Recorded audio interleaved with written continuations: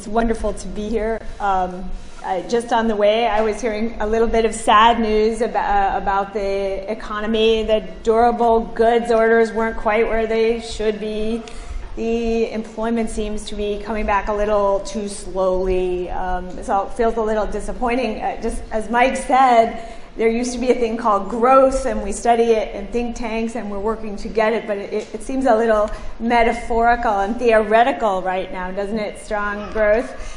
Uh, and we're hoping to bring it back. Um, we're wishing for the day when there would be 4% growth and when the unemployment would be below 5%, and we're wishing even more. I think everyone in this room will concede um, for something closer to a balanced budget in Washington, to a smaller debt, to maybe a government that pays back the debt, and even behind that, even uh, in non election years, we're looking for a leader who can take us there, right? Who can take us to a smaller government, who actually could shrink the government uh, and get us closer to, to growth and happiness. But when we face it, um, when we look at that, we, we begin to wonder is that really possible in the United States? We've kind of downgraded our expectations a bit. Um, we don't, we're not pretty sure, we're just not sure about the entitlements, whether they could ever be fixed.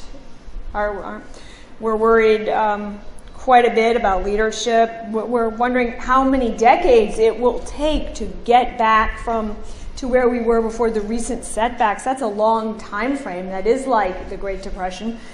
Um, we know there's a way to get back, but we don't have a leader and we don't know how to get back.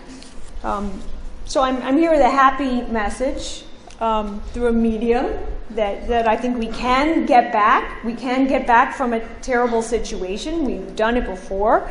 We have had such a leader who has taken us back. Um, we've had such an economy that was 4% real growth, ab- nominal, real, always. And that was what we can call the Coolidge economy after the president whose period belonged to, Calvin Coolidge, the 30th president of the United States.